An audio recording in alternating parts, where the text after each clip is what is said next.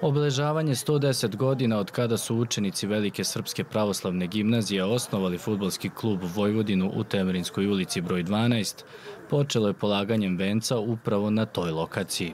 Centralna proslava održana je u Srpskom narodnom pozorištu gde je upriličena svečana akademija na kojoj je prikazano nekoliko kratkih filmova o bogatoj istoriji Novosadskog kluba sa igranim segmentima u izvedbi iz glumačke postave Srpskog narodnog pozorišta.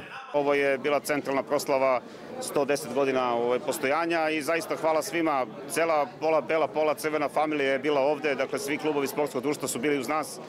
Zaista je bilo jako emotivno i lepo, jako puno klubova Super lige, jako puno predstavnika Saveza, dakle ministar sporta, gradonačelnik. Mislim da, da, je, da je zaista na jednom ozbiljnom nivou ovo sve ovaj, prezentovano našim navijačima i ljubiteljima sporta generalno u Srbiji.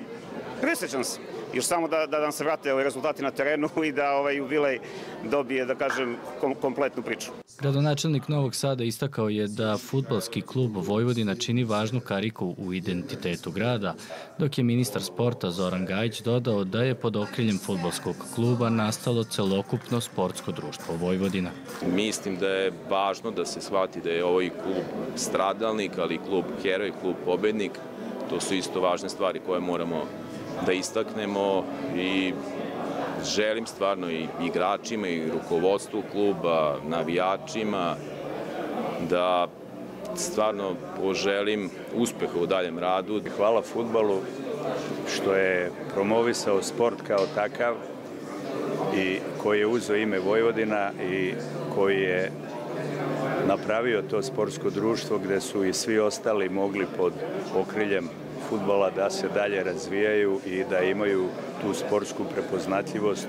Rođendan su klubu čestitali i predsednik UEFA Aleksandar Čeferin, ali i Milan Mandarić, naš poznati biznismen i sportski radnik, koji je danas i posetio klub.